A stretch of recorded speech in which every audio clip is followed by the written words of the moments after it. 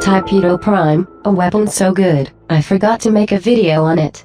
Tipedo is a polearm. Wait, no, it's not a f***ing polearm, it's a staff. Obviously. Sticks usually do a lot of slashing damage but hey, Tipedo is a classic weapon. Swing it around for a bit and let nostalgic feelings wash over you, smile in reminiscence as you remember the good old days, when you would always use quick melee, because all staff stances suck a huge amount of filthy ass.